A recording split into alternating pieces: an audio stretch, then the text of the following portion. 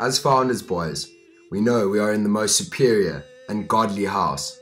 And to prove this, we asked boys from other houses if they could pick any house to be in, which one it would be. There was only one answer. Founders. Well, it's definitely not grounds. I think it's founders. Uh, obviously founders. Definitely founders. Bro, you know it's gotta be founders, uh. Founders, 100%.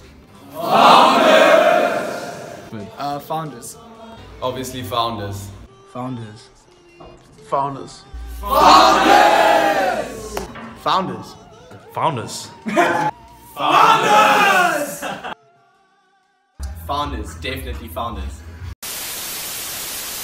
Can keep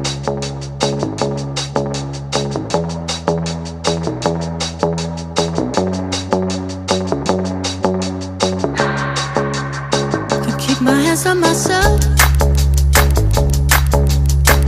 Think of dust